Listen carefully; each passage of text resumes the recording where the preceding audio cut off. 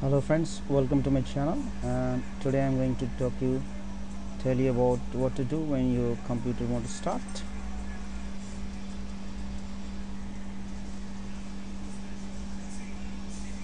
The first thing to do when your computer want to start is to check whether the power cable connected to the pc and to the power board is loose. Check whether the power cable itself is faulty you can test it by using another power cable.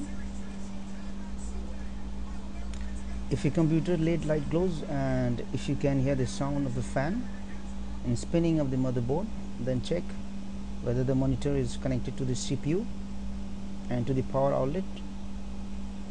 In some cases the monitors are connected to the CPU and in some cases the monitors are connected to the external power unit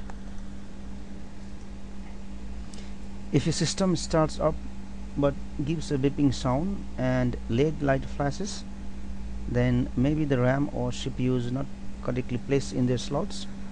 Remove the CPU cover and reinstall the memory and CPU again. If your system start up but restarts again and again then it is because of the fault in CPU fan.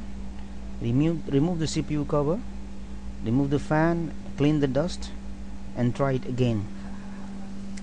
If the CPU fan doesn't work properly then the processor gets heated due to which the computer starts again and again. If it doesn't work then replace the CPU fan.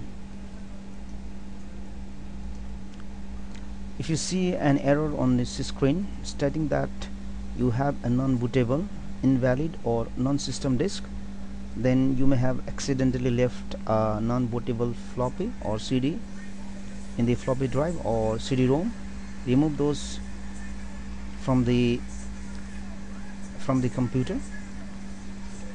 If nothing turns on no power then the system main power supply may be faulty. Replace the SMPS